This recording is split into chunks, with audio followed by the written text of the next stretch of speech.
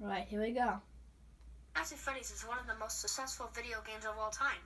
I'm here to tell you five facts about it. Here's number five. Five Nights at Freddy's, the first game, was not even a year old yet. Apparently, the first game came out on August 8, 2014.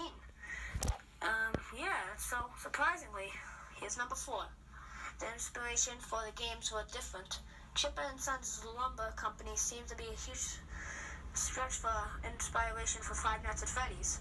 Heck, man, I didn't even know this. Number three, here we go.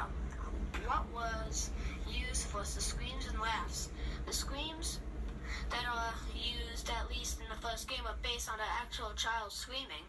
I actually knew that because before I made this video, because Freddy laughs and then the scream. I actually like downloaded Five Nights at Freddy's Scream and it showed what the scream was actually about. So yeah. Number number two. How crazy successful the first game was. The first game it gave like 404,694 times a day and making an estimated $12,879 especially Markiplier. He's my favorite, and he is the king of Five Nights at Freddy's. Here's number two.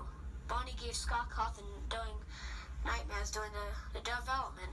I knew this because if you watched 10 Facts About Bonnie from Smike, he, he that was number one.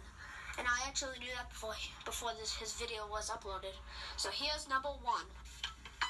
The Steam version because holy crap, they're the worst. I cannot take how bad they are.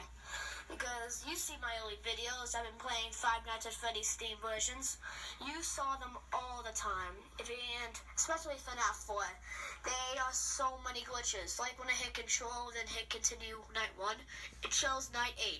I was suspecting 2020 2020 mode on there. And especially Nightmare on 4 a.m., but nothing. I didn't even show anything. So, uh, thank you for watching this video. Peace and subscribe.